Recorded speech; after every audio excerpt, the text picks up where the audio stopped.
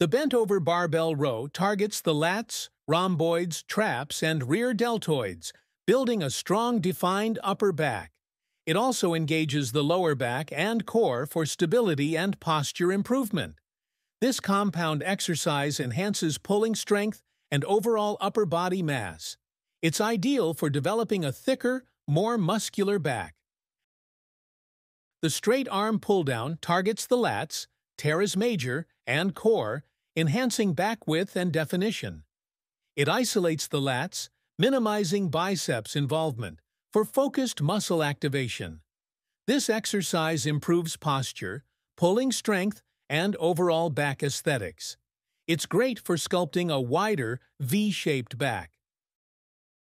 The single arm lat pull-down targets the lats, improving back width and symmetry by focusing on one side at a time.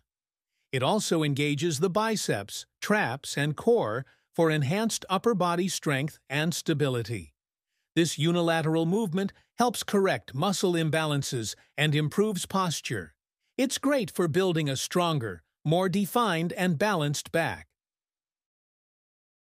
The V-bar lat pull-down targets the lats, middle traps, and rhomboids, building back width and thickness. The close grip emphasizes the lower lats and enhances pulling strength. It also engages the biceps and forearms for additional arm development. This exercise is ideal for sculpting a V-shaped back and improving upper body strength. Seated cable row targets the lats, rhomboids, traps, and rear deltoids, building back strength and thickness. It also engages the biceps and core, improving posture and pulling power. The controlled motion enhances muscle activation and reduces injury risk. This exercise is great for developing a strong, well-defined, and balanced upper back. Plate-loaded single-arm row targets, the lats, traps, and rhomboids, building back strength and muscle thickness. It also engages the rear deltoids and core for stability and balance. This unilateral exercise helps correct muscle imbalances and enhances pulling power. It's ideal for developing a strong, symmetrical, and defined back.